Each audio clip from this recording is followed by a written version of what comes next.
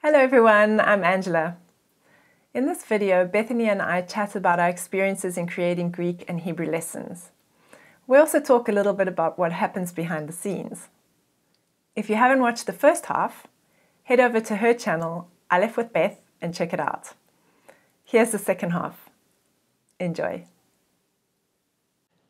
So, what does your workflow look like for uh, planning lessons? Mm. How long does it take you to plan? How far in advance do you plan lessons? Um, so, how long it takes me um, depends. Some, mm. If it all goes well, probably a day or two to plan okay. a lesson. Um, but it could, you know, could be a bit longer. Just also, there's other prep to do, like finding props and sometimes mm. making them. Then it can take a bit longer. Yeah. Um, and uh, yeah, how much? I don't know, about eight hours or something to to plan mm-hmm. a lesson if all goes well. And then, right, the next step would be to either have it checked before I film it, which is I'm hoping to do that to save some time of making mistakes. Fancy. But I don't know if that's you know limited resources, so I don't know if mm-hmm. that's going to happen. But for mm-hmm. the moment, I've had like probably a day or two of planning, and then recording would take um, probably four or five hours for a okay. 15 to 20 minute lesson. Um, mm-hmm hoping to bring that down. but that includes sure. a lot of uh, yeah, it's setting up everything and getting it working, and a lot of uh, what do you call it? Learning curves. That's not the word I'm looking yeah. for, but all the troubleshooting. Troubleshoot. Working. Yeah, right. Um, and I'm starting yeah. to actually I've changed it and sometimes it can take me longer, well five five hours or whatever, because I'm actually taking the stuff, putting it in um, in my in my video editing program just to see what it looks like. Um, mm. Hear if I made any mistakes because I don't have anybody watching me and saying, "Oh, you just did that," or whatever. I only see it right. afterwards. So, um, and it can be a really simple mistake that you just I've got so much else to focus on. I didn't realize. So I, know, I hear you. Yeah. So. Um, so there's that, and then the editing process, which can take anything from 20, 30 hours to 50 hours if uh, yeah, depending on how things go. Yeah. And then some, yeah, then then that's then after that, um, sending it off to have some of my volunteers uh, who have good Greek to mm-hmm. watch them and um, yeah, and my my beginner stu- Greek student Bethany to watch it and just tell me if the the. if it'll be like Angela, I didn't understand this part. Right, and then that right, then that helps me to know mm-hmm. how to mm-hmm. change things. And then doing the editing necessary um, that the, from the feedback that I get. Mm-hmm. And then the publishing process, which takes a couple of hours to to upload it onto YouTube yeah. and get everything sorted. Yeah, I'm always surprised by how long it takes me to finalize a video after everything's right. done. I have to watch it again. I usually export it and watch the exported version again to make sure that there weren't any little problems that didn't show inside the editing program, but that uh, that you'd only right. see after exporting it and then uploading it, and then creating the thumbnail and writing the description. I mean, yeah, yeah. it takes a surprisingly long time just to get the thing finally on YouTube. Yeah, and you think, oh, I finished the video. Yeah. And two days later, you're still trying exactly. get it You're finally like able to publish it. I know. Yeah.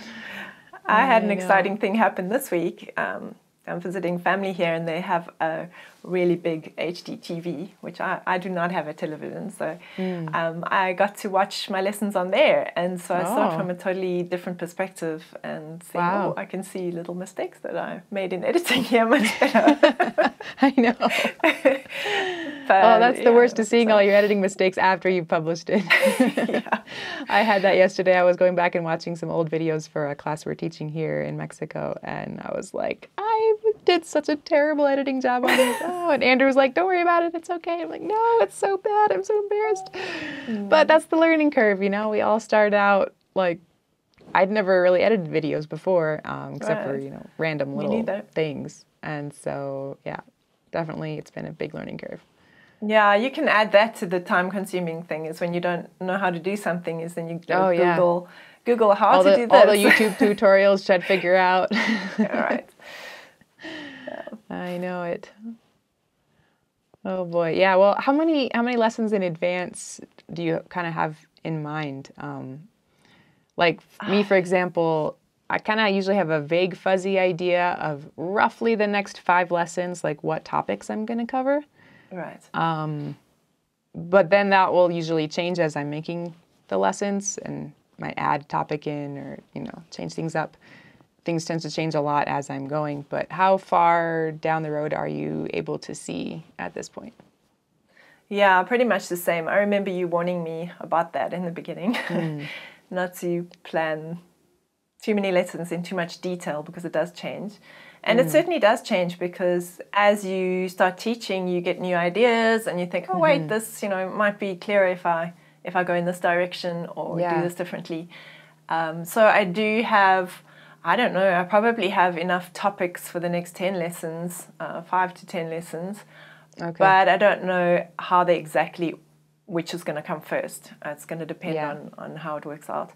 So at the moment, um, probably only two or th- excuse me two or three lessons um, ahead, mm-hmm. and um, sometimes when life has been hectic, which my life has been the last couple of months, I've mm. only been managed to really plan one lesson um, with a vague idea of what I'm going to do in the next couple okay. of ones. I mean, I know what I'm going to do, but it's not planned. It's not written down. Yeah, that makes sense. Mm for me, it's been helpful once I kind of got out of the stage that you're in now, where you're still building like the super basics.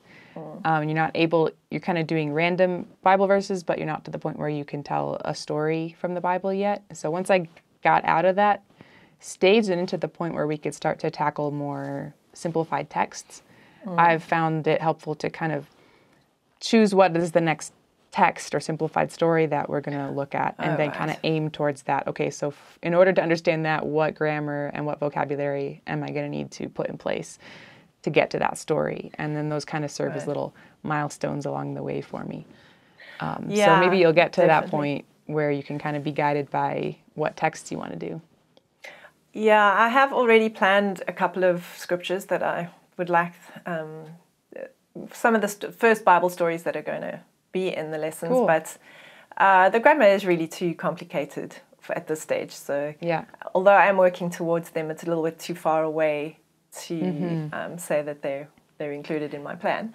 Uh, totally. But they are. Um, you know, I, am still wrestling with whether to write a simplified Bible story because then you're changing the text. But I think it's mm. appropriate in this, um, probably like a children's Bible um, story. Mm-hmm. Mm-hmm. Uh, but even so, it's uh, it's surprisingly difficult grammar for for a for a beginner. So yeah. Um, what I have done is written a couple of just stories that are not biblical that have the same um, vocabulary and grammar, and slowly those stories would become a little bit, you know, slowly the grammar will become more complex until we're able mm-hmm. to understand a biblical story. But it'll take some time to get there. Cool. We look forward to that. That's exciting. Yeah. Very. Yeah, even when I I we feel like we've reached our goals, which I don't know, sometimes I doubt whether that day will ever come, and we'll actually be like, "Yay, the course, it's done." Um, and by God's grace, someday that day will come. But I sometimes I wonder. Um, but even then, I'd like to go back and write more simplified stories for different mm, levels. You're um, right. Just add more content at those easy levels, more easy stories, more um, videos, especially at the really super beginning levels when people are trying to learn how to read um, and they need some simple literacy style books, uh, primer style stories to get going. So I think well, that this job will never end because even yeah. when we finish, there's tons more content that we could be creating and uh, that people would could use. So. Well, let me use this as a as an opportunity to speak to you guys out there. If you are somebody who your biblical Greek is good and you like um, mm-hmm. you want to get involved in somehow, there's so much work to do. We you know yeah. really can't do this on our own. And so, if you would like to write some stories for us, um, we'd be so so happy for you to do that, and it would be a great help. I've got one volunteer who's starting to um, write some simple stories for me, but cool. uh, we need more. Yeah, yeah. Join join the team. We'd love to see an army of creators out there making simple stories in the biblical languages and making videos and or just illustrated books or whatever. It'd be really great. Yeah, yeah. That's what we'd love to see. Yeah, this is. I think you guys feel the same. This is not my um, my work or whatever. It's really a team, and mm-hmm. for people, all people who have the heart to get biblical languages out there. Right. Um, we want you to get involved and help us to to improve and to have more yeah. content and uh, yeah, give us and ideas. I, and I would say too that if you're at a point where you you know you you have a solid grasp of the grammar of say Hebrew or Greek, um, that trying to write simple stories in Hebrew Greek will definitely reveal to you the holes that you have in your knowledge, as it did for, right. for me. And I'm sure you too, Angela. All of a sudden you realize, wow, I didn't, there's a lot of questions that I need to figure out how to answer that I never thought of before when you were just reading the text. But then when you're trying, starting to, uh, to compose in that language, suddenly uh, it kind of forces your, your knowledge to be challenged. You have to grow. So I think it's a fantastic way. I found for me personally that creating all these resources has been the biggest um, catalyst for growth in my own language abilities with Hebrew. Definitely. Um, I would Definitely. say the number one. I mean, I learned a lot in my classes, and it's been great. But uh, having to go to the text to find the answers to my random questions that come up while composing in Hebrew has definitely been super, super valuable for my own growth in the language. Right. I think it, that applies to across the board. Um, you can go to mm-hmm. university and get a degree, and you've just learned all the stuff. But then, how do you apply it? Yeah. And I think that's also with Greek. When you start trying to use a language, then you, as you say, you really start seeing how how, how well you've grasped the language. Mm-hmm. And I think with with uh, with uh, ancient Greek or biblical Greek, you um, when you start speaking it, you find that there's things that you want to say that aren't in the text, especially if right. you're limiting yourself to the New Testament, which um, you can't, you know. Um, so sometimes you're trying to think, how do I say this? There's no example in the New Testament, so you can look yeah. further, maybe in the Septuagint. Um, you can't find it there, then you have to go and look and further in other in other texts, and uh, maybe you don't find it there either and yeah. then you have to just use um, the principle and try and and try and just apply the principle. And I also just uh, consult other people whose Greek is better than mine. Mm. Um, well, and that's one of the advantages you have teaching Greek. Um, the grammar may be more complex, but you do have a way bigger corpus of texts right. from that era that mm-hmm. you can draw on. Yes. Um, whereas with Hebrew, we really only have the Hebrew Bible um, for that era. That's basically the only text we have to work with. So if it's not there, you know, we could we could look to later versions of Hebrew and but yeah, for that era, there's nowhere else to look. So it's not there, it's not there. So I kind of envy you that that you have more like the classics and other mm-hmm. uh, other texts that you can go looking for your answers if you can't find it in the relatively short New Testament. Yeah. Well, I'm really looking forward to getting better at the technical side so I can have more time to mm. read the classics. yes. Oh, I know. There's like five different grammatical things in Hebrew. I feel like I really need to investigate and like read a lot of uh, a lot of academic papers and stuff. But um, yeah, time. Time, right. As a mom and trying to keep the videos coming, I'm like, all right, Lord, give me wisdom for what That's to prioritize. Right. It's, it's so great that you guys have got so many different, you're getting to the stage where you're producing all different kinds of resources, so many resources for your students, and also mm. for teachers. Um, I have mm-hmm. quite a few teachers writing to me and saying that they're so excited about the series that they started using it um, awesome. in their classes. And um, yeah, that's, that's exciting for me too. And I love to get that kind of feedback and um, one of my goals in the future is hopefully to write kind of a manual for teachers um, on how to yeah. use these these um, to use these lessons in their classes. Um, because mm-hmm. I know that sometimes you get that's what reminded me of it was when we were talking about how how do I say this. I think that's one of the biggest challenges for teachers. You know, you have yeah. to learn to speak Greek. And then you come to something, I'm like, well, how do I say this? And it'd be nice to have a resource to help definitely um, teachers with that, and also just understand why did you say it like that? I've never read that in a Greek grammar, you know. Yeah. And just explain. Yeah. yeah, there's some really really simple things that you can't find in a grammar or necessarily written, you know, in the way that you need to hear it.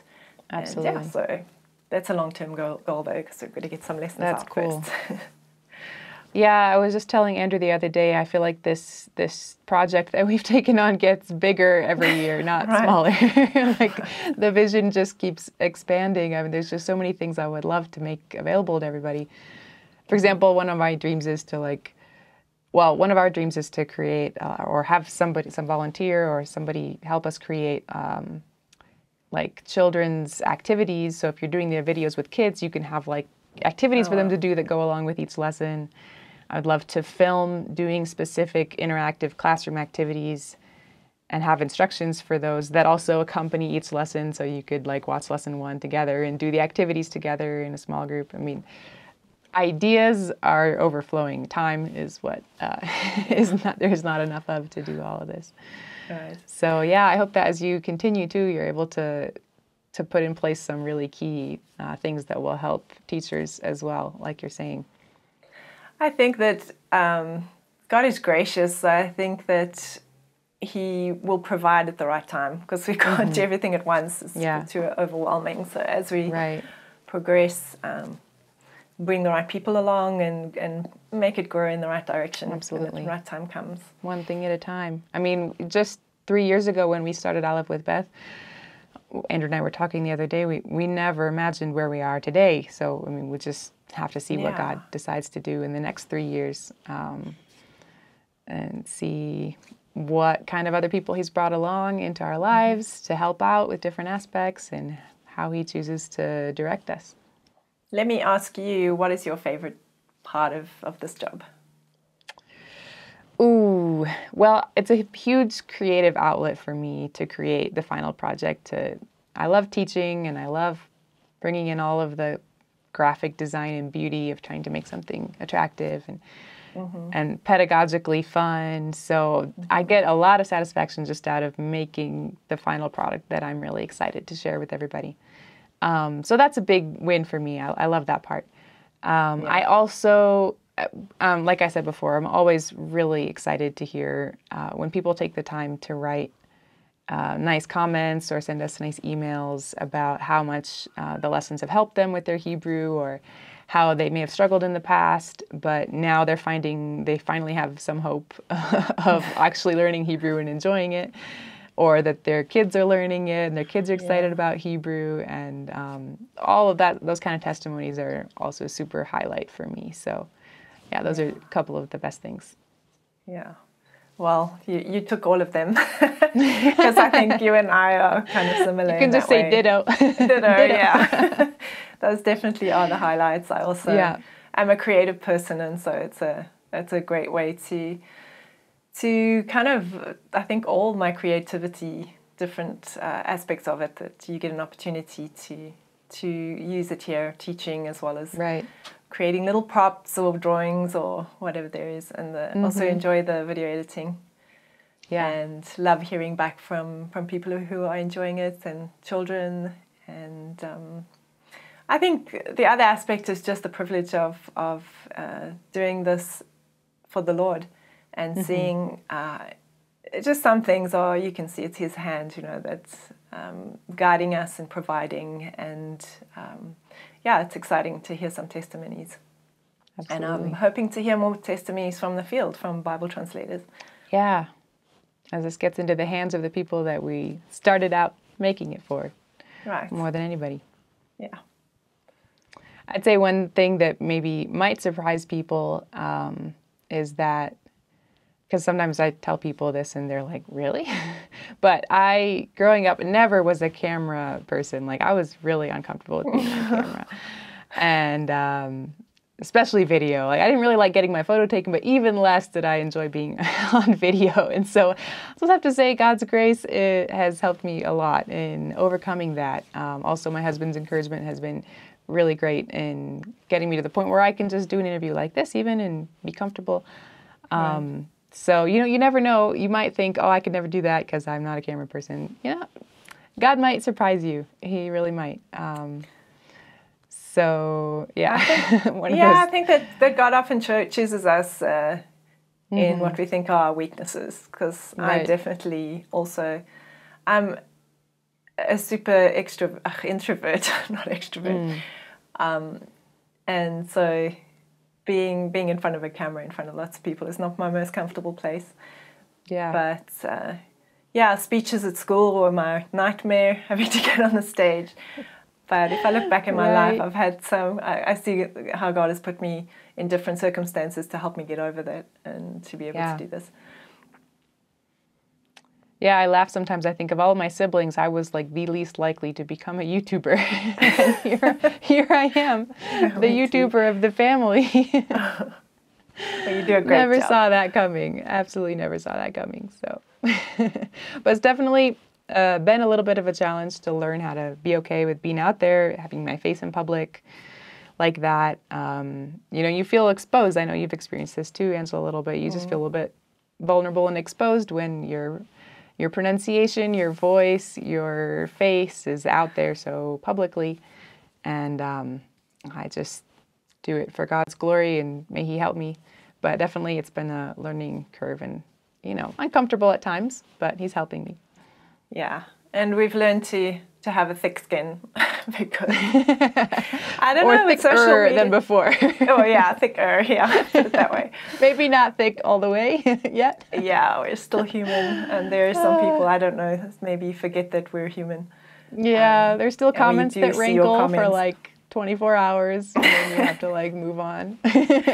yeah, but. Uh, Oh, the overwhelming positive response and wonderful people out yeah. there who are enjoying this and are absolutely just uh, make make any negative comments go away. yeah.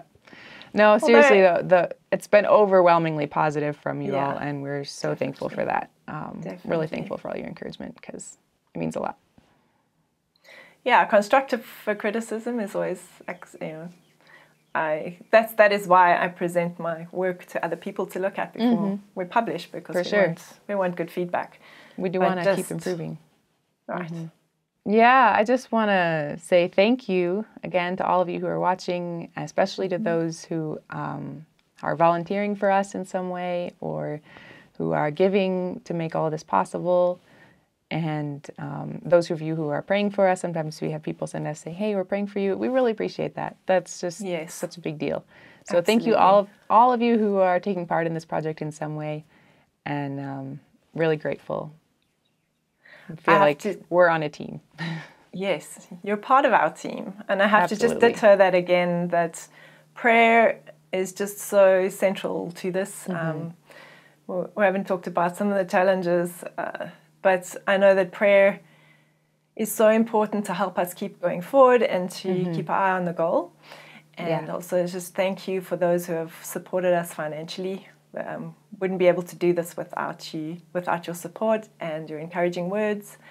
And yeah, we're so grateful for you.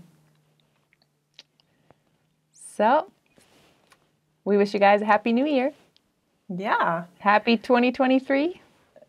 And Happy we look forward to learning more Hebrew and more Greek with y'all.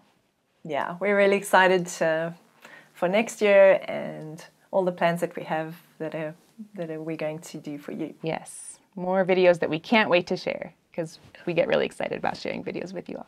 Yeah, we do. Okay, thank you, Bethany. It's been right. great to chat thank to you. Thank you, Angela. Yeah, you take care. God Bye. bless. God bless. Bye. Bye.